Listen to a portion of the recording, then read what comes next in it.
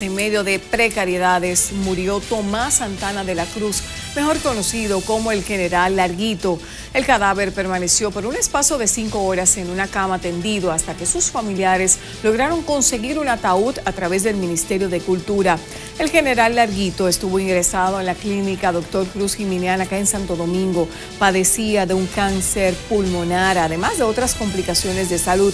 Fue despachado el pasado jueves y llevado a su residencia como pidiera como último deseo. Un humilde cuarto de pensión fue el sector, en el sector del ingenio de Santiago fue el escenario donde vio la vida por última vez el, general Larguito. El doctor parece que hizo eh, que le agradecemos muchísimo, hasta lo imposible, digo yo, porque lo despacharon y es lo que quería como venir a morirse a su casa, ¿tú entiendes? Todo un artista, nuestro país, hombre, era un, un ícono de, la República Dominicana. Larguito, eso va para la historia, tremendo.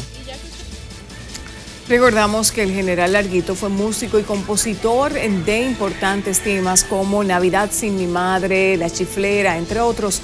Su cuerpo está siendo velado en estos momentos en las capillas Inavi, en Antiguo Sabica, en la ciudad de Santiago. Desde acá, pues, nuestro apoyo y solidaridad para con los sobrevivientes del general Larguito, sus familiares cercanos, sus allegados y todo aquel que hoy estaba en luto por su fallecimiento.